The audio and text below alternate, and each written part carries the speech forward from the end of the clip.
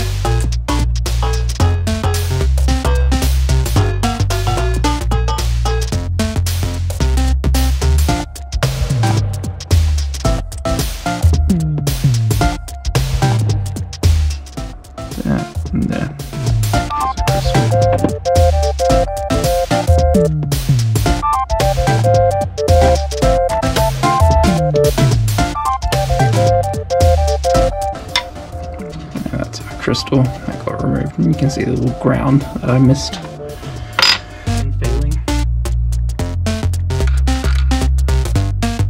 This little cable made up, so there's a 100 ohm resistor, and then that's a 10 nanofarad capacitor.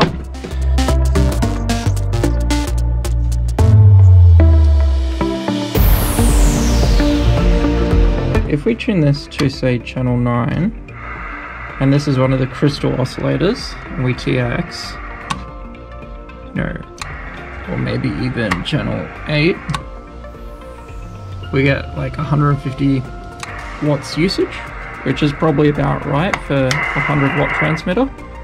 If we switch it back to the DDS channel, which is channel 10, the one we've been playing around with, when we go to TX, uh, we're only using about 13 watts, which means we're not outputting a lot of power. We'll probably end up with a channel per band because we have to tune these to the frequency that we're using.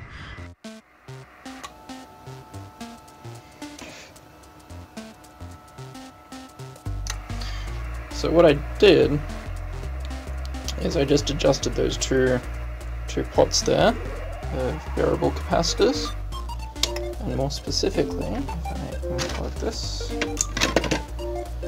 uh, on the other side of this board, I replaced out those capacitors with uh, some that are the correct value for that band.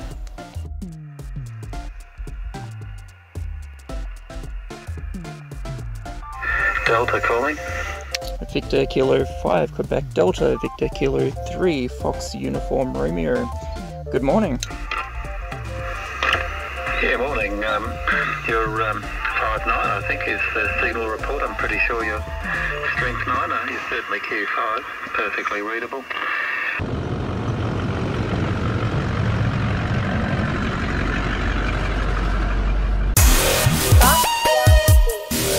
Five, okay.